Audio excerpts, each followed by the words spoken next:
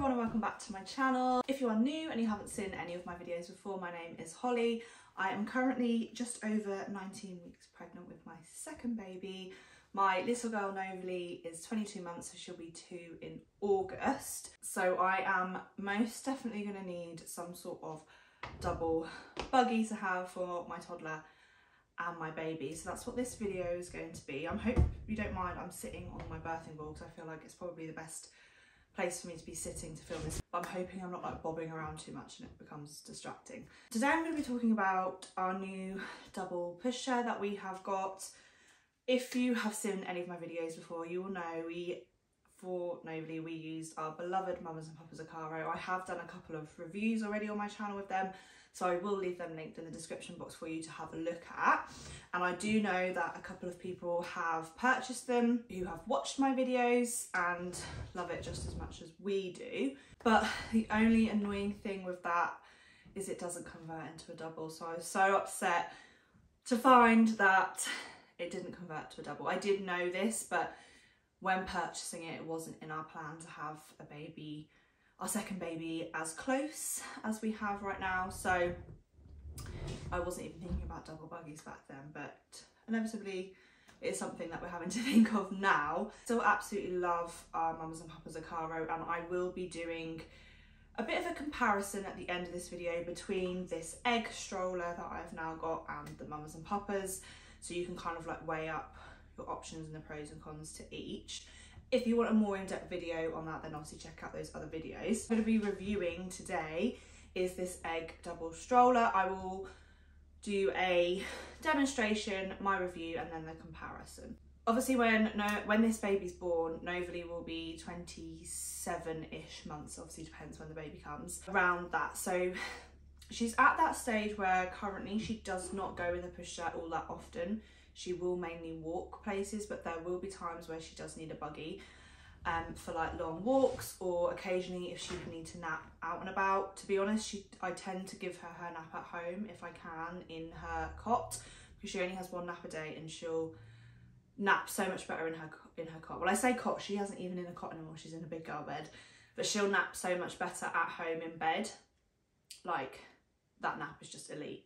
So if I can, I will do that. And I haven't actually tried her napping within this, this system yet. And I have now switched over to this because I know, uh, again, I think some people have picked up on that in one of my previous vlogs, but that's purely just because I wanted to get used to the system and how it all worked before throwing a new baby in the mix. And also I just don't have the storage to store two, two prams. And once I got this, I kind of then had to to make the decision to, to switch to this. We did buy this secondhand, so you might be able to see there are like a few little bits on here that aren't like brand new. There's a few little marks and things. I do still need to give it a good proper clean. Um, I haven't got around to doing that yet. It's in really, really good condition. You can see it's in this kind of like greeny khaki colour. I will, if I can find it, online I will link it and I'll try and put in the description box what the colour is but obviously I bought it second hand so I'm not entirely sure. Um, and obviously everything that I'm going to go through in this review in this video I'll show you everything that came with it how we bought it but obviously it will differ online how you buy it. And I'm pretty sure this is just the egg. Um, I think they've bought an egg two out now I'm not sure but I think this is just the original egg. They are quite expensive to buy new like you're probably looking about two grand to buy this whole thing new, I would guess. Second hand was definitely the way. We paid about £300 for this, so it was such a steal. I had been doing research into double buggies and we had been to in-store to try out a few, but I was torn between a tandem one like this or a side-by-side -side one.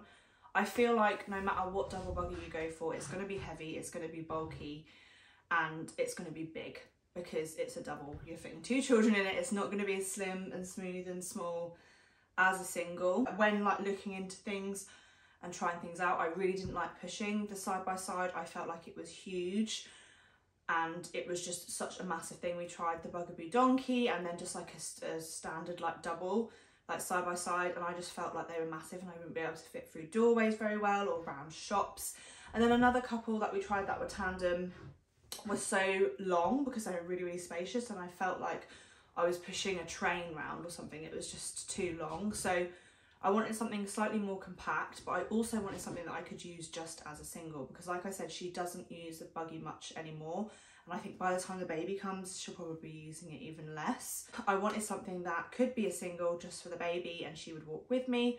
Or we've also got a buggy board with this, which is something else that she will definitely use. But I also needed something that if we were out and about and we were out for a full day and she needed some time to rest that I could convert it to a double or if we were going on a really long walk she wouldn't be able to do the whole thing we needed to be able to put her in it as well as the baby and if there was a time that she ever needed a nap out and about so the great thing with this is we've got the option. Just quickly go through what we've got within this. So we've got two toddler seats. We then obviously got the frame, the cup holder, the carry cot, the buggy board, and it also came with car seat adapters and two rain covers. So that's everything that we got with this. It obviously doesn't have a Cozy Toes.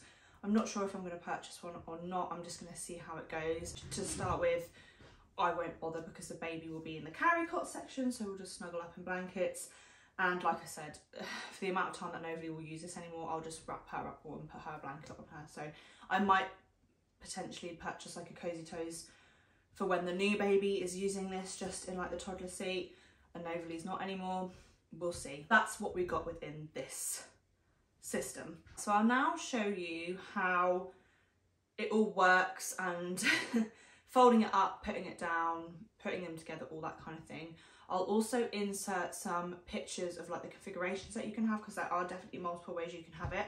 I will just say I'm still learning and I'm still trying to figure it out. I've obviously haven't used this as a double out and about yet so it's not something I'm familiar with and I am so used to our Ocarro that that just I don't even think about folding that up and doing it because it's just what I'm so used to whereas this is different so I might actually make it look harder than what it actually is. I will say that we do really like it and I'm really glad we've gone for it. This is the base. It has like a one touch kind of click brake so it kind of clicks on and off um, which is really nice, really easy to use. It has the pivot wheels at the front, so when you're kind of like turning around a corner, you, it turns really nicely. It also has an option on there to lock the wheels in place straight. Cup holder is on this side. Firstly, these are what the seats, the toddler seats look like, and they are really, really simple to just click on and off. Literally just slot it in. And then the straps on here are adjustable just with the little pulley ties here and it just clips in at the bottom. You've then got the two buttons here just to manoeuvre the footrest and there is like a little bit under here that you can like store stuff in if you want to. And then obviously you can this up as well if their feet want to be more kind of straight than down. The hood is really nice, comes over like that. And then if you want to recline this, you just pull this lever at the top here and it, then you can have it like lie flat.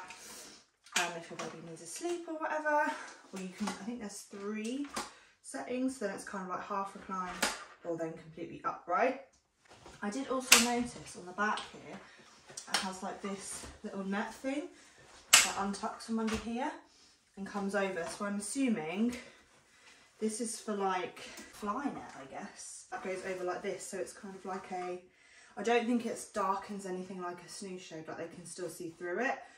But I guess it just helps the sun and stops any like bugs or flies or anything getting in there. So that's quite a nice little feature. The basket underneath as well. There's a lot of kind of access to the basket when there's just one on. To get it off, you just press the two buttons here. And it does also can be in facing as well as well facing. And again, it just clips on really, really easy. Then I'll just show you how I will obviously occasionally be using it when the baby comes. So to use it as a double, you get these attachments with it. I always have to try and remember which way around they go on, but they are really easy just to slip on. It's just remembering how I do it. Pretty sure the, the buttons go on this side and it has the egg writing on it, so it kind of, you can see it goes this way and it just easily just slots on the top like that. Again, no buttons, you have to push it, just slides in. And then you've basically got your two anchor points. So you've got one here and one down here. With the carry cot, that goes on the bottom and it actually goes facing backwards, which is a little odd. But I think because you're looking from the top, you'll still be able to see your baby really well. And then the toddler one can just go on top. I would probably have this one facing outwards because I'm pretty sure Novi like would rather look around. She obviously can't face the other way when the baby is in the bottom just because her feet would be over the baby. So this is how it would be as a double uh, when the baby's really little and in the carry cot section. It is really quite light as well, like it pushes really nicely and it's not, I mean it is obviously a little bit heavy but it's a lot lighter than some of the ones I looked at. Sorry, I'm so out of breath.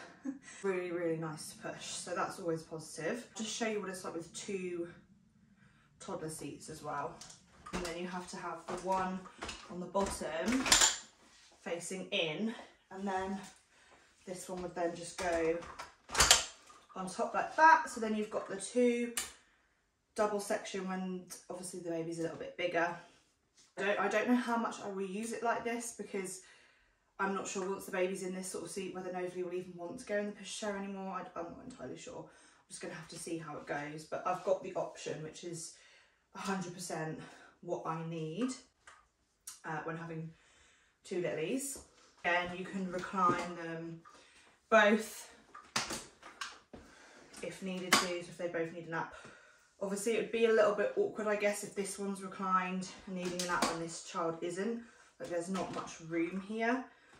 But I feel like no matter what double buggy you get, if it's a tandem one, they are going to be quite close together. There was another one that I did look at, um, I think it was called the UPPAbaby Vista, and that did seem like it had more space, but then because it did have more space, it was just so massive to push, like it was so long. So there's definitely pros and cons to every double buggy. Like I don't think any of them are perfect, I'm not gonna lie, because they are double, they're bulky, they're quite annoying to be honest. But I really think for the little amount of time that I'm to be using it, this will be fine. Um, I'll just have to plan who sits where if I'm thinking that. I'm assuming I'll probably put the younger one underneath because they'll probably want to nap more than Novalie and not be bothered as seeing out, whereas she'll want to see out. This seat has the bar on it because this is like the main toddler seat and this second seat doesn't have the bar and isn't quite as um, I don't know what the word is, luxurious as this one because this one has the extra foot bit as well as the the bar, whereas this one is the one just that slots in. So it's not quite as big. This one's ever been used actually. Uh, if you see what I mean, it hasn't got the extra bit there, but still, still lovely. Also, you can put a car seat on here as well, and I'm pretty sure I haven't got my car seat currently. It's in the loft at Tom's parents, the one that the baby will be using but we have the Cybex Cloud iSize. I would probably do when, if Novalie needs to just quickly go in the pushchair and I'm not going to be very long and I just want to put the baby in the car seat on here, you can just get the adapters and there you again just slot onto the top. So that's really, really handy. And then this one can go on the bottom. I would imagine, looking at it now, it will have to go that way and then the car seat will sit on top. So obviously Novalie could be looking at the baby. So that would be really sweet. So if I want to just pop the car seat on the top there, I can. And I can still have a seat for her also. Don't need it as a double, obviously you just un take these bits off. Then I'll just show you it as a single with the carry cot. So at times I will probably be using it like this um, when we go out and about for little walks and I will be honest, like I said, Nova doesn't go in the pushchair all that much anymore. Even if we were, like we recently went to the zoo, she didn't even, we took the pushchair around with us and she didn't sit in it once. So she's basically, you know, she's starting to get to that age of not needing a pushchair.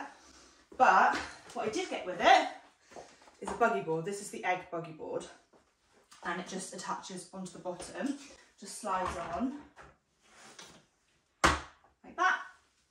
and then she can stand on here and we can have the baby in there so she can obviously look at the baby. Um, I think it would actually be quite nice because she'll be able to hold on to this bit whereas if you have like the toddler seat on she'd have to hold on to here. So I probably like tuck her in and stand on this bit so she can hold on to the carry cot and she can see the baby. I have practiced it a little bit with her um, on the buggy board and she's napping at the moment so I might try and get her to do it in a minute to show you like when she's awake. I think this is probably how I will be using it most of the time, I will be honest, because it's not like, this is a little bit hard to get out because you need two fingers.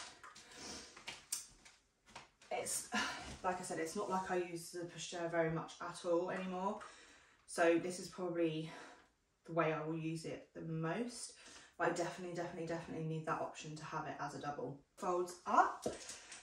So obviously the seats all stay whole as they are. They don't fold up any smaller. So you then just fold the base up. So I'll probably take the buggy board off. Like I need to remember because I'm so used to my Ocarro and how that folds up. I'm still learning how to do this one. But I'm pretty sure you get this, you twist it. I might put the brake on Oh yeah, also, if you want to just adapt and change the handles on here, you just twist this forward and it's got different height settings, which is really good. And then to fold it up, I believe you twist it the opposite way, kind of like clicks, and the handle goes down. You can keep the cup holder on it, and then you just grab the middle of the basket and fold it up, and it just clicks into place. Sometimes you just have to move the wheels um, so they're flat, and then it just folds up like this. This base bit is actually not that heavy really, um, I found anyway, it's not too heavy. So it folds up like that, and as you can see, it does fold up really quite small. And to unfold it, there are two like release buttons you have to remember. On here for the handle, which you just do, and that will pop up. So another release at the bottom of the basket, which again, you just hold that and it will unclip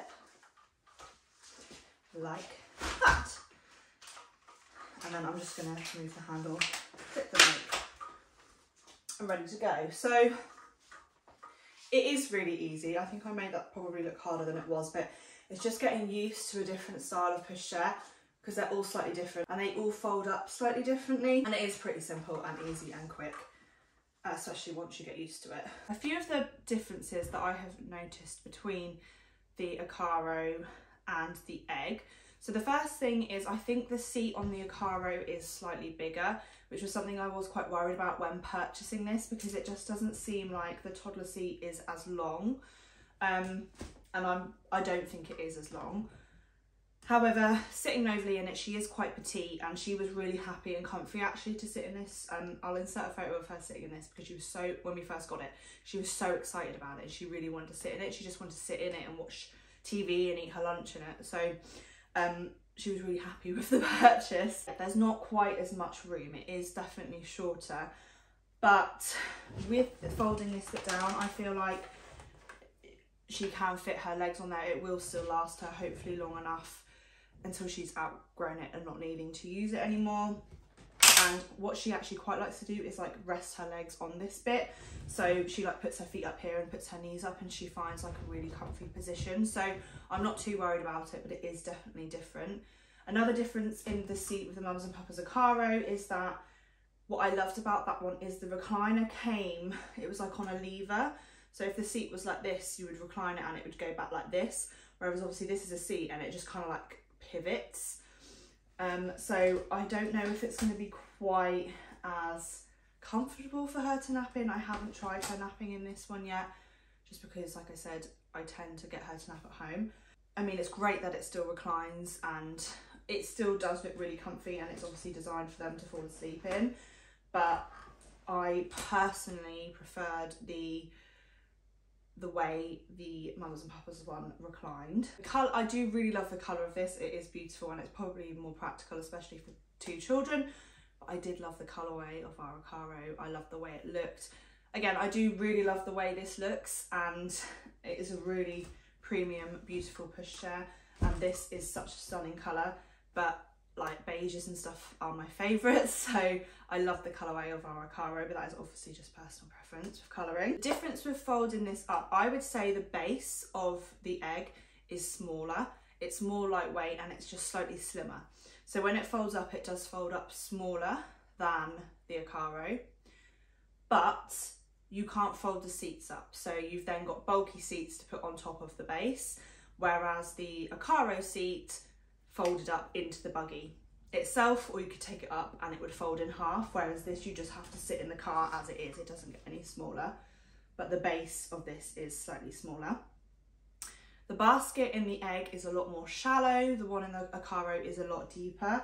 But obviously because this is a double, you wouldn't want this too high because you wouldn't be able to fit anything in the basket with, with a lower a setting on here. Whereas at least this basket, with it being a double, I can still fit something in the front here of this basket. I'm pretty, I don't know if you can see this, but I think you'll understand what I'm saying. With the Ocarro, when you folded it up, you couldn't have loads in the basket, but it folded up, you could keep some things in the bottom of your basket. Whereas with this egg, as you saw in the demo, you basically grab the middle of the basket and that's where it folds.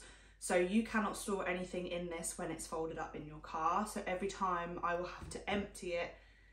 I mean, I don't keep a lot in the basket, but I probably keep the snooze shade in there and potentially like the lullaby sound system thing and a rain cover or two, depending how many children are in it at the time. Every time you will have to take that out and empty the basket when folding this up. Whereas with the Ocarro, I would be able to keep those couple things in there because it would just fold up with it in it. The brake is different between them as well. So the Mamas and Papas one, you would flick down with your foot and then you'd have to put your foot underneath it and flick it back up again. Whereas this, you just push it both times, it clicks on and off. I think I actually prefer the brake on this one to the Ocarro. The way the straps clip together and adjust are different as well. I would say it is actually a little bit harder to use on this one. Um, they both, both the Ocarro and this have a button to detach this, which is really handy so you can get them in and out. But I would say that this is a little bit more awkward to kind of like adjust. It's hard to explain on the Ocarro, but I feel like it just is slightly nicer to use on the Ocarro. It doesn't feel like as tight and it just it adjusts a little bit nicer whereas this takes a bit more fiddling around to get it right, I would say. Further adjust the, the strap adjustment on the Ocarro. The cup holder on this is a lot smaller, it's a lot more sturdy, so if I put a drink in here, I have previously mentioned it was a bit of a petty thing, but on the Ocarro, the cup holder is very wide, so it would wobble around a lot, whereas I can put a drink in here and it is very secure. However, it's a lot smaller, so I can't fit bigger drinks in here. And like the other day, I went to put my Starbucks cold iced latte in here and you couldn't I couldn't fit it in. But again, these are just like really petty things. They're very similar in like the the wheels, the push is very similar. I might say that this egg is actually when it's a single, not when it's a double, but in comparison to the Ocarro, I would say it might be a little bit lighter to push and it definitely has a bit more suspension. It's a bit more bouncy. Um, it has the same wheels at the front which pivot or you can lock like this base is very similar. You can pull the handlebars up and down, which again you can do on the Ocarro. So they're not massively different and they both push, I would say pretty much the same um, in the sense of how easy they push. I haven't actually taken this over like a field, anywhere really, really rough. I have my Ocarro and it's great, but I feel like this pushes very similarly. So you can tell it's like a premium, more expensive, sturdy travel system. It's not like cheap and rickety and, and fall apart. So they're both very on par in that sense, I would say. And obviously the major, major downfall with the Ocarro is the fact it doesn't convert to a double. So please, mums and papas, make it make it so you can convert it to a double because it would obviously cater for so many more families then and we wouldn't have had to now purchase this. I would have definitely stuck with my Ocarro if it had if it had switched to a sing to a double, but it doesn't. So I would say this is, is really close second, if not on par. Obviously take this as a pinch of salt, it is personal preference. You have seen me faff around and fold up and use both. And I can't say for this for certain because I haven't used it frequently as a double. I've just sort of played around with it. I obviously haven't got two babies yet. I can't tell you exactly. If you're interested, I can do like an updated version of this and touch on like what I've actually been using it and what I found good and not so good about it. It is all down to personal preference and I would really recommend going to try a couple out, see what you like and it obviously depends on your lifestyle. I am really, really happy with it, really pleased. This is potentially a little bit easier to get on and off the frame, whereas the seat on the Ocarro was a little bit harder because you had to use two hands you had to like push and slide a button to release it whereas these are just two push buttons and they do come off really really easy. So this is probably easier to take off than the Ocarro one but I didn't take the seat off the Ocarro all that often because I used it I folded it up within it. I think the hoods are pretty similar. The Ocarro one might have come down maybe a touch more um, but not really. And I think the Ocarro one had a vent on it whereas this hasn't got a vent on the hood. All in all, as a review of this as a double buggy, I really, really like it. Um, it's easy to push, it's easy to fold and put away. It's not too heavy.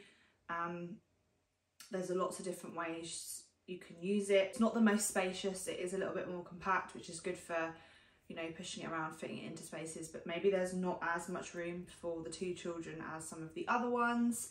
I don't know, but generally I'm really happy with it and it's a really lovely system as a single and as a double. I think I'm going to leave it there. I hope you guys have found this helpful and if you're in the market for a double buggy then this is obviously what we've gone for. I would definitely recommend as well having a look on like Facebook Marketplace and things like that if you are wanting to buy something second hand, get a little bit cheaper.